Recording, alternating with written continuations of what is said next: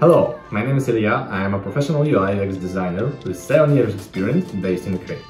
Also, I am a jury at Awwwards, one of the most prestigious web design award in the world. And uh, I am a teacher of web design course in Projector, the biggest design school in Ukraine. So, how can I help you? Art direction and design management. I can manage a team of designers and developers to build websites or huge SaaS product or platform. Second one, the UI UX design. I know how to build smart and scalable design system for building complex projects.